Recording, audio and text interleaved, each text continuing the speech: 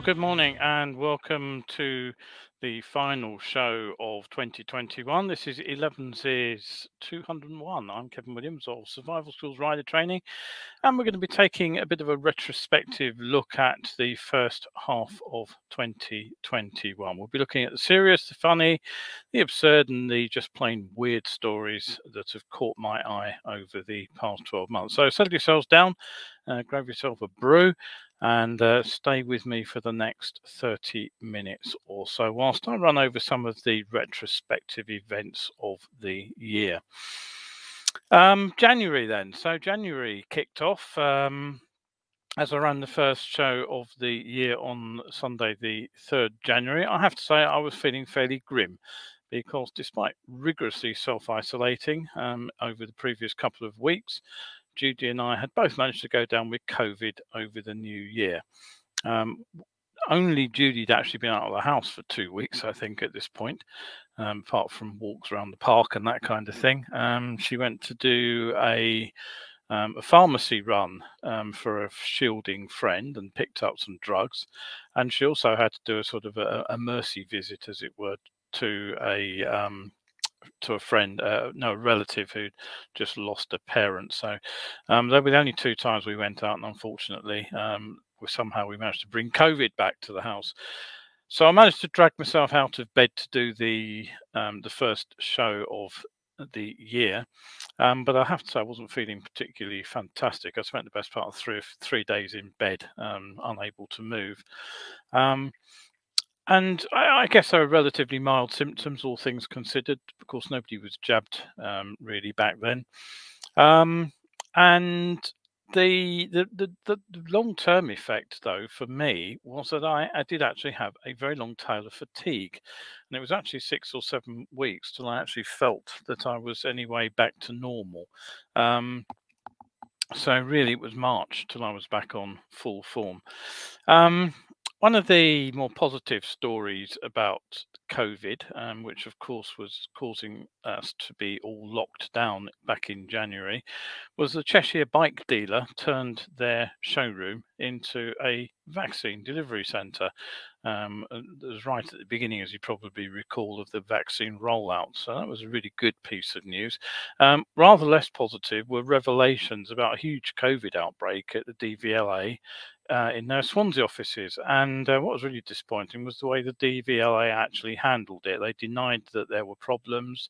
Um, they denied that uh, lots of people had COVID. Then they denied that there were any issues with the building itself. Um, and there were various stories about workers being told they couldn't work from home but had to come into the office. Um, so it wasn't a very edifying story, really, uh, that the, the DVLA um, didn't come out of it particularly well. Um, January also saw what I had to, I described at the time was a uh, highly optimistic press release. Um, Elk Promotions were still announcing that the South of England Classic Bike Jumble at Ardingly would take place on the 17th of January, right into January itself. Now, predictably, it didn't happen, um, but it did take um, some time before they actually cancelled it. Literally just a, a, week or two before the event, uh, which couldn't have been a great deal of fun for the people trying to book stalls, or even the people who were sort of thinking they might actually be able to go out and do something right at the height of the lockdown. Um, the 2021 MCN motorcycle show in London was another victim. Um, other stories that popped up in the month of January. A council had to pay £70,000 to fix a cattle grid because self driving cars were seeing it as a wall. Um, I did look into this in a little bit more detail, and as I recall, what the problem was was that the road sloped and then the cattle grid was level and then the road sloped beyond it. So the car's detection systems were seeing this sort of sudden change in attitude as the cars um, hit the, cattle grid um, and and thinking it was an obstruction in the car's way.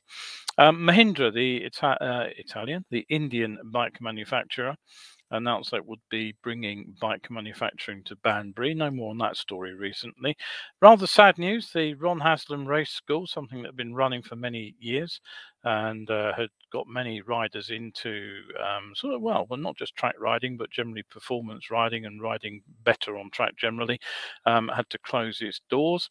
Um, a journalist, actually somebody who went on to write up a story with me, um, wrote a article about how the best way to stay warm on a bike was to spend uh, um, 1800 pounds on Dainese riding kit.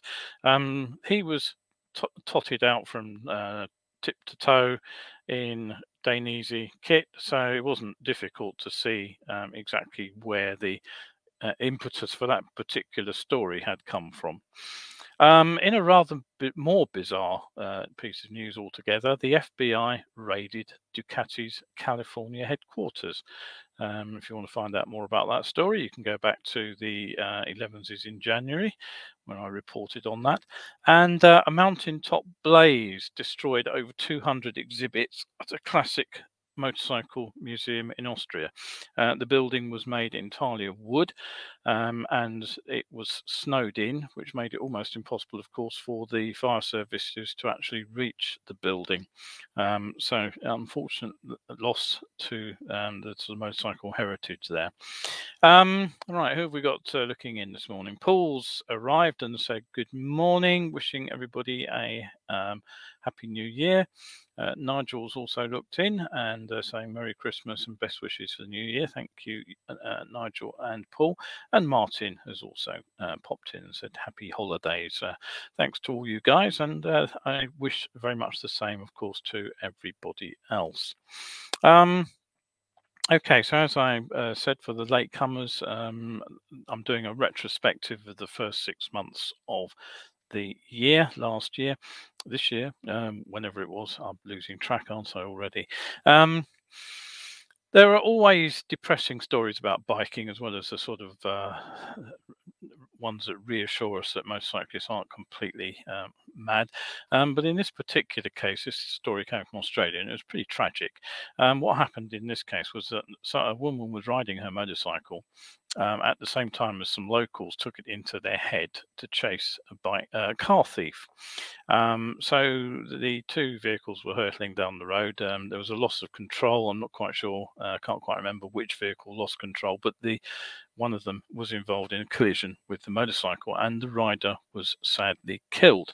So she was doing absolutely nothing wrong, but uh, just um, ended up being the victim of this uh, sort of vigilante chase. Now, within days, scammers had created a fake fundraiser for this woman biker, um, which I think is an utterly appalling and heartless um, thing to do. But if you think that's bad, then just a few days later, some local teens actually burgled her house. Um, they were nailed by the police fairly quickly. Um, in another story, um, um, looked at the new Yamaha MT25. Now, this isn't a two and a half litre motorcycle, it is just a quarter litre. Um, and the writer pointed out that the bike is destined for markets like India and Indonesia, and we're very unlikely to see it in the UK, particularly as there's 300 here already. Um, but he suggested that it could be a stepping stone for a new rider. So what it, what basically he was proposing was that um, at 17 you can get on a 125 and then what he was saying was why shouldn't riders who are 19 um, be allowed to continue on just a CBT, but move up to the 250cc motorcycle. And uh, his justification was that it's uh, a sort of halfway stepping stone between the learner friendly MT125 and the, the A2 bike, the MT03. Um, well, the um, bit of history on that one. Um, CBT was brought in in 1990, and the whole idea of CBT was to prevent learner riders jumping on a bike with no experience, like I did, and going out on the road with no training, like I did, and crashing, like I did. So CBT uh, does offer novice riders a minimum of skills and you do get at least a couple of hours on the road with a bike trainer before you're let loose to deal with the roads on your own. Now, whether CBT ever reduced um, casualties on the road is a very moot point um, because um, there are often fingers pointed in general direction of crash stats, which went down at the time that CBT was introduced.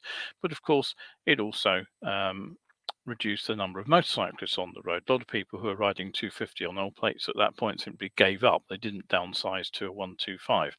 Um, some did, some didn't. Some, of course, tried to beat the legislation by taking their tests, which was a much better idea, frankly. Um, but the upshot of the number of registrations of bikes not going onto the road is that it went down. So the implication is there were fewer riders on the road.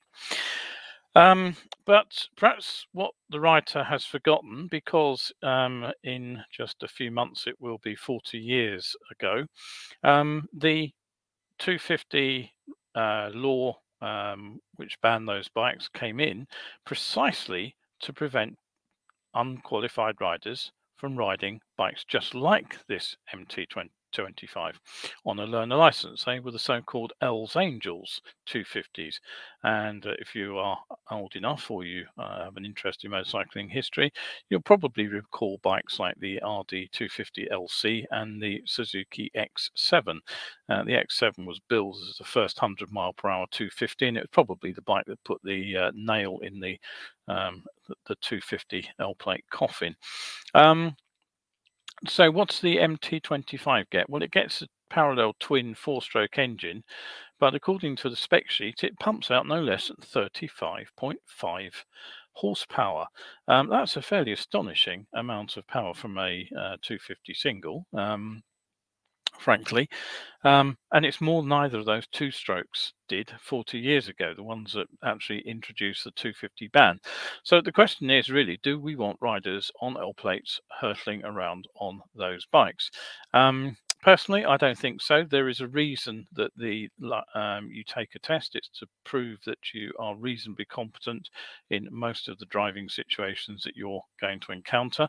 CBT cannot possibly um, offer you that level of um, instruction in just one day.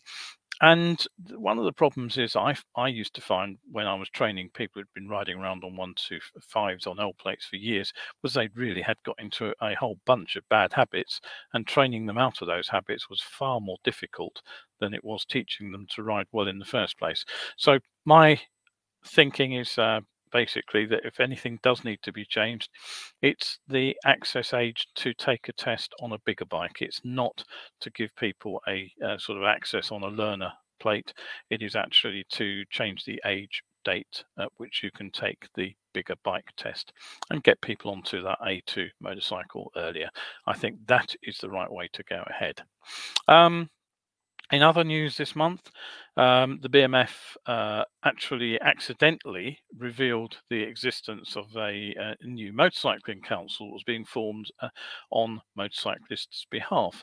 Uh, it was an organisation intending to speak with one voice on behalf of all riders. The word of the, the formation of this uh, new National Motorcyclist Council appeared ahead of the official news um, because it appeared in a press release on the British Motorcyclist Federation um, website. Um, I spotted it and ran the story too. Um, the thing I remember pointing out about this was that um, whilst there, there were lots of different groups represented, um, all those groups are sort of special interest groups. None of them actually are general. You know, there's no there's no input from motorcyclists. Um, and in the more or less year since this organization has been running, I've seen no attempt to engage with motorcyclists. There's been no polls. Um, there's been uh, there have been no um, press releases aimed at motorcyclists that I can see. Um, yes, you do need a body which can talk to government at the top level, to talk to the DVLA, to the DFT, um, to the uh, DVSA. Um, it, some some organization, a coherent organization with a united front is needed, but they also need to talk to bikers. It's no good just representing motorcycle organizations, even if they are like MAG and the BMF, who claim to have a broad church. Um, they do need to find out what ordinary motorcyclists who don't have anything to do with those motorcycling organizations want to do. Um, in other stories, um, UK bike sales were hammered. Shares uh, prices for Harley uh, plummeted themselves. Uh, Captain Tom, who uh, you probably remember, uh, his race bike was found in a museum. Um, and the MT07 based sports bike replacement was um, sort of unveiled uh, in a leak uh, to replace the R6.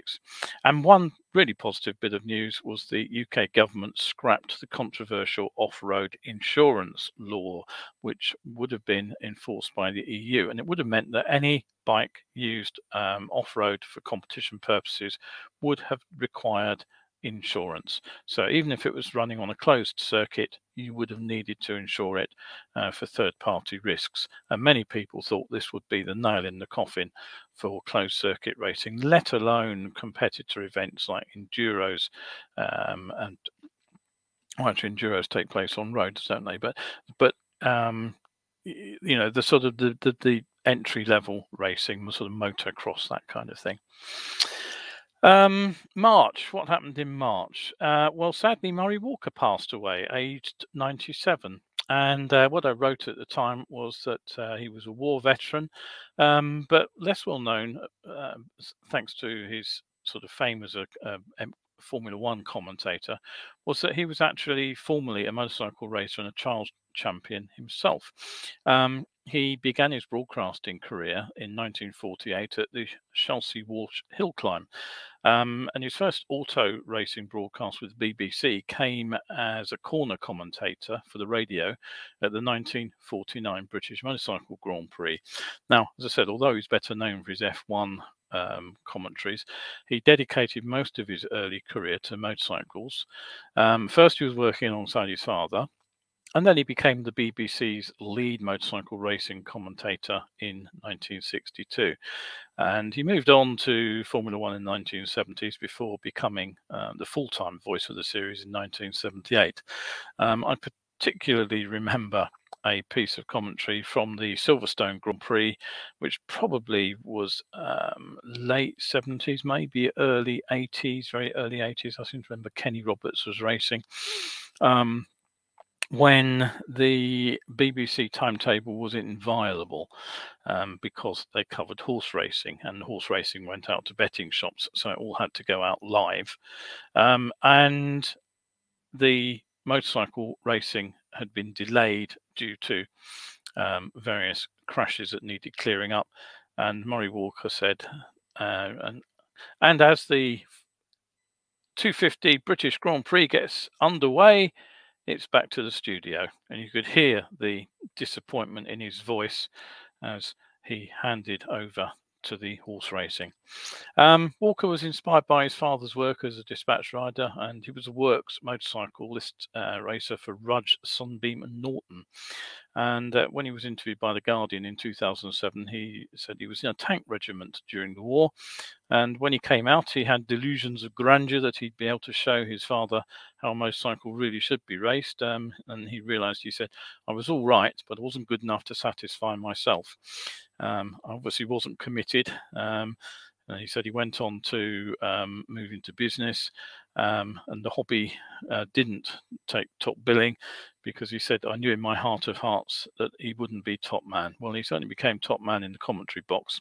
Um, somebody who probably won't be remembered um, for anything like as long as Murray Walker uh, is somebody called Azusaga Kuyaku, Kuyuki.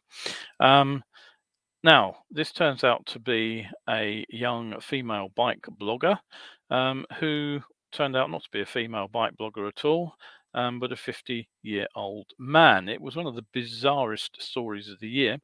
Um, this uh, man, woman, had developed a huge, huge social media following as she posted up her adventures as uh, on her love of playing with bikes uh, on her Yamaha.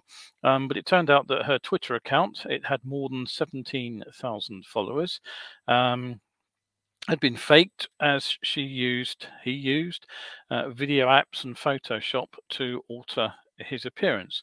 Um, the of course once the deception was revealed of the um, everybody immediately ridiculed all those people who'd been taken in um, by this man and uh, people wrote various things saying how obvious it was that uh, she was a he um, one twitter user wrote uh, people fell for that the face looks really fake and damn that hairy arm um, if you do want to see what all the fuss is about, um, the Twitter feed um, it was there. Um, hopefully, it still is there. You can still have a look at it.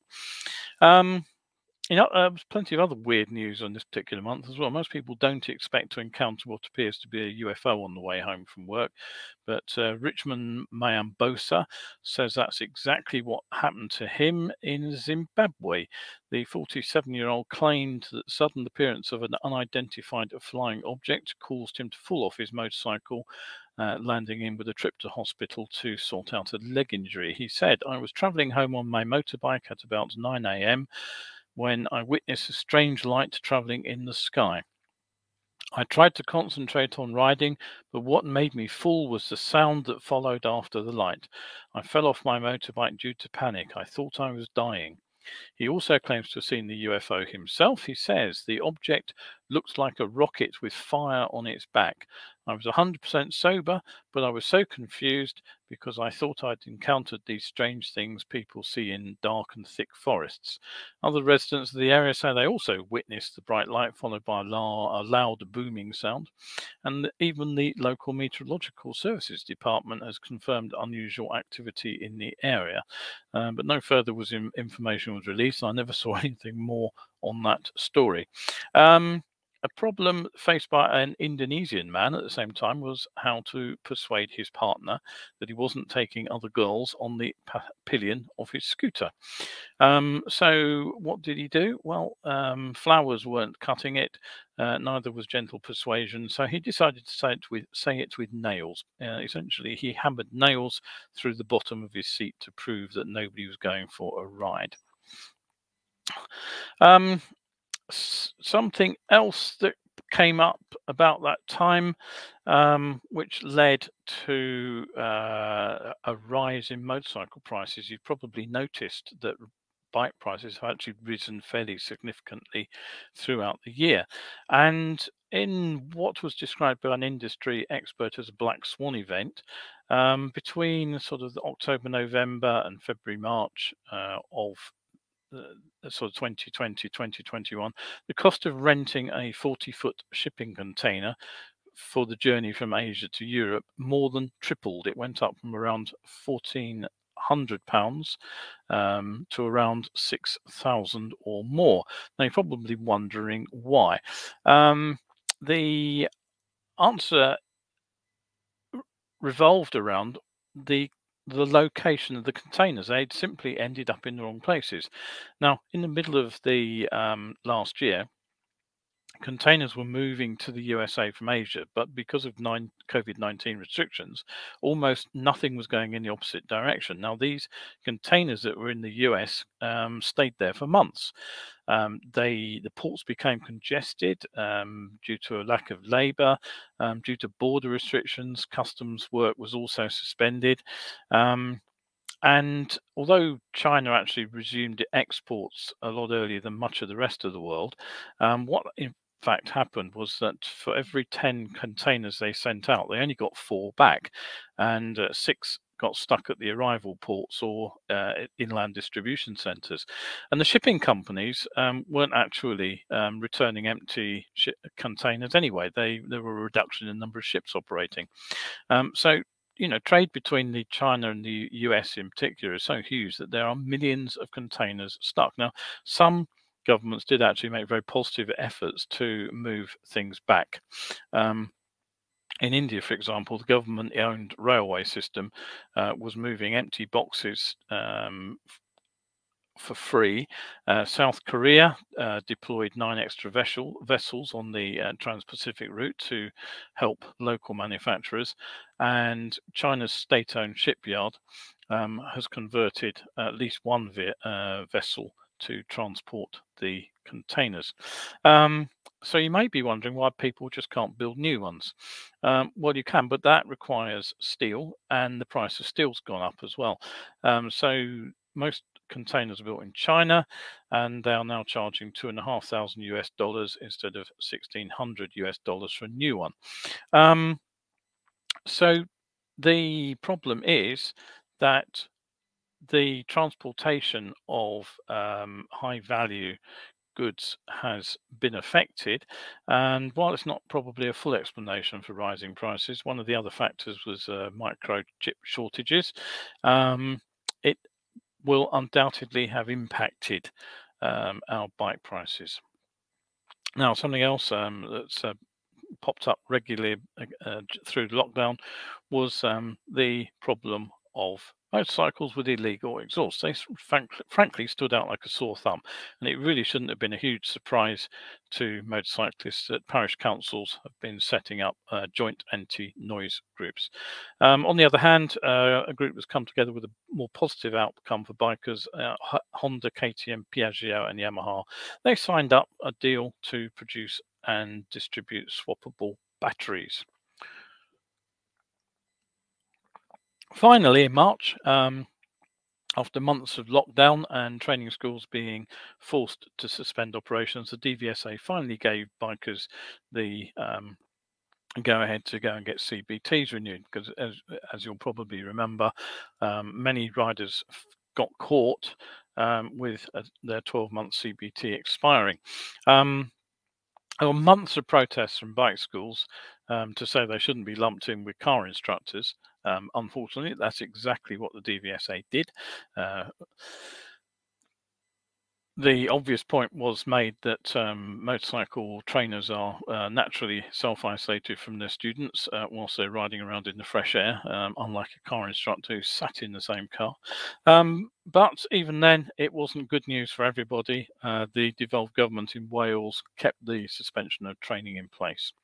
Um, over in France, bikers protested about the end of a filtering experiment, which had unfortunately led to an increase in crashes, um, the government changed their mind um, and decided to extend the trial, uh, uh, make it longer, and cover more um, department as well. And we first got the news that uh, for a definite date for the arrival of E10 fuel, that's the one with 10% bioethanol. Uh, added to it when that, that turned up in the UK. And I also started um, virtual presenting for the 2021 Shiny Side Up event in New Zealand. Um, and so into April. And unfortunately, my time with Shiny Side Up came to a very, very abrupt end as New Zealand went into lockdown and the live outdoor events had to be suspended. We did get to run an online uh, show uh, later in the year, but it, it uh, the the the live events um, came to a complete standstill. Uh, one of the weirdest stories of the year was uh, Northumbria Police and Crime Commissioner. She proposed um, to um, tackle the theft problem that mandatory trackers should be fitted to all motorcycles. Um, everything um, pit bikes, motorcycles, Harley Davidsons, uh, racing bikes, absolutely everything, according to her, should be fitted with a tracker. Um, lots of people, of course, pointed out that this was a bit of a daft idea um, and questioned basically uh, the logic of her proposal and how much she actually knew about motorcycles in the first place. And uh, not too surprisingly, uh, one week later, she backtracked on that particular call. Um, but it did trigger a um, uh, MAG to actually write to all police and crime commissioners, candidates, um, to tackle bike theft more seriously. Um, and it's a story that I've ran, or uh, bike theft is something I talked about on a number of occasions over the course of the year about the, uh, the, the the complete lack of interest really from the manufacturers in actually making their bikes theft proof. Um, there's very very little um, that stops somebody stealing a motorcycle. Um, the I did talk about trackers. Um, I talked about some of the expensive systems where you basically sign up for um, a uh, a monitoring system which will um, li literally follow your bike on a screen and tell the police where it is. And I wondered how many bikes were actually ever recovered on uh, from those kind of systems. And uh, there was another story. I didn't actually cover it, but there was another story about someone who went all the way out. To, I think it was to Romania uh, to recover his bike after the local police showed no interest whatsoever in uh, getting it back for him. Um, he had to go and do the job himself. Um, in other news, uh, Spanish Vikers um, were asked to vote on the possibility of compulsory airbags. Uh, now, this was a proposal by the Spanish government to bring in the, um, a requirement for riders in urban areas and on motorways to wear airbags as a matter of course.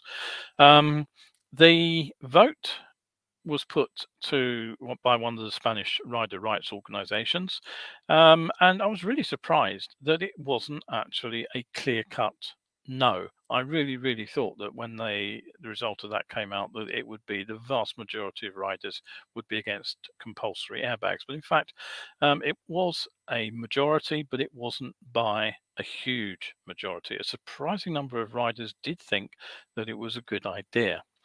Um, noise, I mentioned noise as a problem. Uh, murder inquiry was launched in Norwich after a man was stabbed over motorcycle noise. Um, strike action, the DVLA, um, just at the point, of course, when everybody was getting really frustrated about the lack of driving tests, the DVLA uh, decided to um, that it was the examiners decided to ballot on industrial action due to plans to alter working practices, which would basically meant they having to do more work and um, get less time between um, driving tests. Um, and frankly, I sympathise with the driving instructors on this one. Um, another group to threaten strike action was Deliveroo uh, over the terms and working conditions as delivery riders. Uh, Triumph's Trident um, the new 660 budget bike um, went out on tour. Um, the various police forces around the country launched their usual um, early summer uh, or late spring um, campaigns to try to reduce bike deaths. And the Surrey police got hold of some acoustic monitors, which they were going to be pointing at motorcycles. Um, one story which um, I did look at, and I, I forgot to check a bit more about this one. I've forgotten exactly what it was, but it basically it was um, cycling GB. Um, sort of they seem, on the one hand, to be wanting to work with motorcyclists, um, but on the other hand, when you actually looked at their plan uh, in detail, about how the roads should be used. Basically, um, motorcycling was not seen as a viable way of sharing the roads with cyclists. Um, the other big story uh, for April was uh, smart motorways. Um, the smart motorways got put on hold uh, until radar technology was to be readied. Um, the problem was here that Highways England had denied that where they did have radar uh, detection for stock vehicles in place on motorways, they denied it was too far apart. But when they were putting it in on new roads, they were moving the sites closer together, which uh, kind of makes you wonder um, if they were telling the truth there. Um, one bit of good news as well for anybody riding and driving in the Harrow area. Uh, they were one of the councils who decided that they would scrap cycle lanes and low traffic neighborhoods that had been put in during the pandemic as part of the sort of the uh, support for active transport, that is walking and cycling, um, which just basically made it more difficult for anybody else to get around who needed to. Uh, Kensington and Chelsea did the same in one of their uh, flagship schemes, and there have been a number of others who've also gone backwards on the cycle lanes and traffic neighborhoods, um, low traffic neighborhoods. Of course, not everybody has, and we still a vast number of these um, blocked roads, which makes it difficult for everybody to get around, not just uh, emergency services and delivery vehicles, but even locals have to drive around the block um, to get into their own house, which is bonkers, frankly. Um, May, the smart motorway stories weren't going away, um, and one report suggested that they may have seen twice as many fatal accidents as claimed. Um, naturally, the DFT jumped up and said no, the report was wrong. Um, but one rider was facing life changing injuries after he crashed, um, or I believe he broke down and was then hit by a vehicle on a smart motorway. Um, the I mentioned Deliveroo a moment ago. Well, another study on crash stats in London uh, was actually blaming the rise in home delivery uh, by uh, people like uh, Deliveroo and Uber Eats for uh, this rise in motorcycle crashes. Um, it's certainly something I think needs to be looked at. Um, the standards of riding of, of these people is um, appallingly low. Um, you know, people said in the 1980s when I was a motorcycle courier that it was like the Wild West out there. But frankly, the um, most motorcycle couriers did seem to have a self-preservation gene.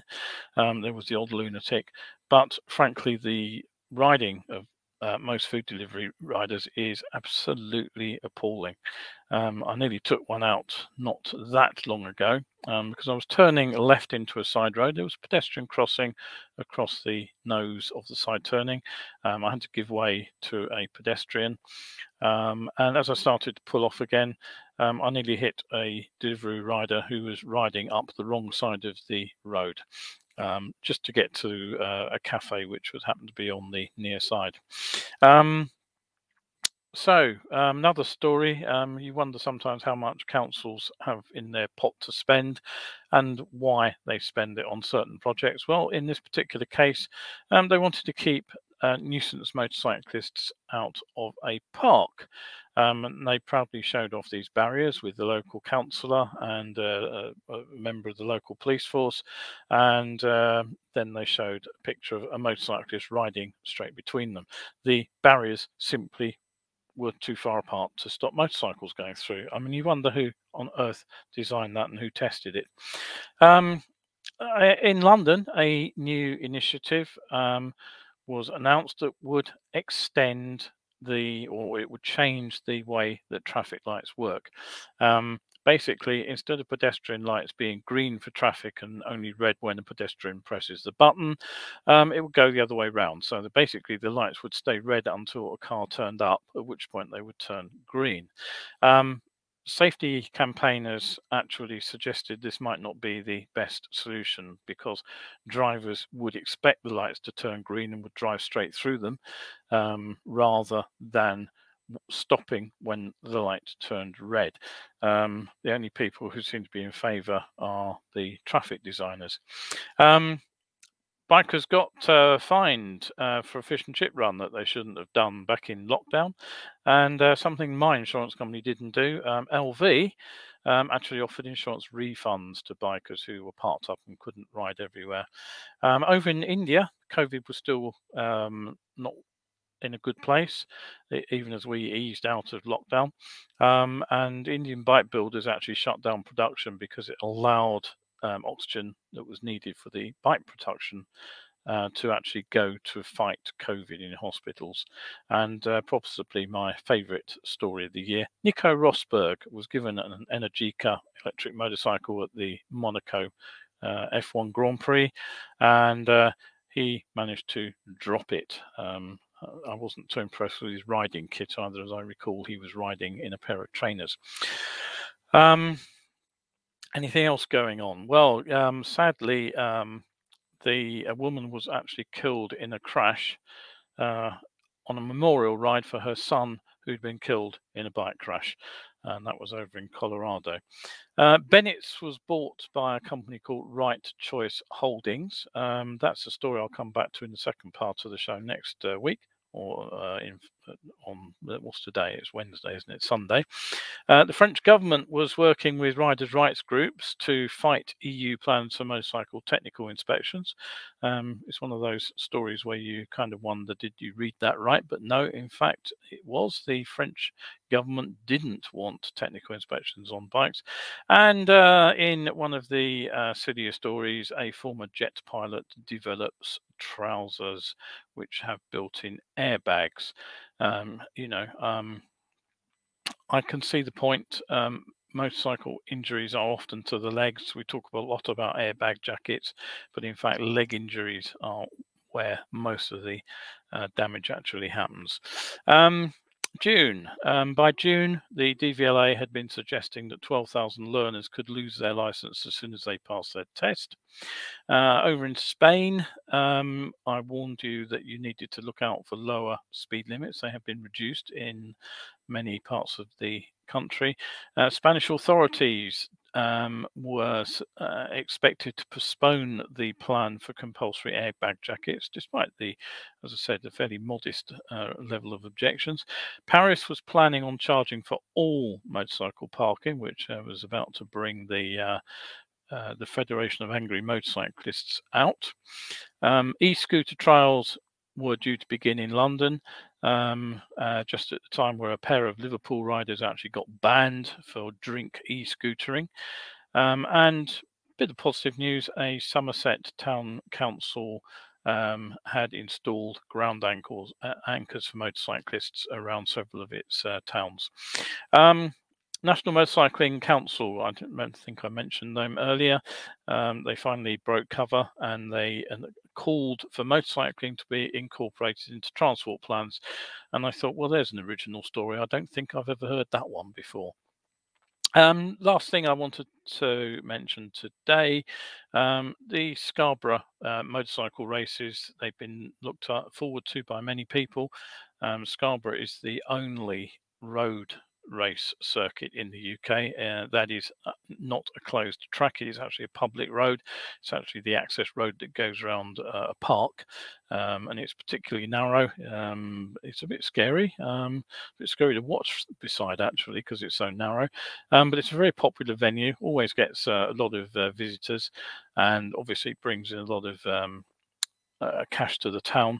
But unfortunately, the um, track itself, the infrastructure, um, including the paddock um, area, I think it was the, um, the, the, the, the building that's used by the scrutineers uh, was in a state of collapse. Um, and the motorcycle races had to be postponed. So the circuit's been closed, and frankly, many people are asking whether it'll ever open again.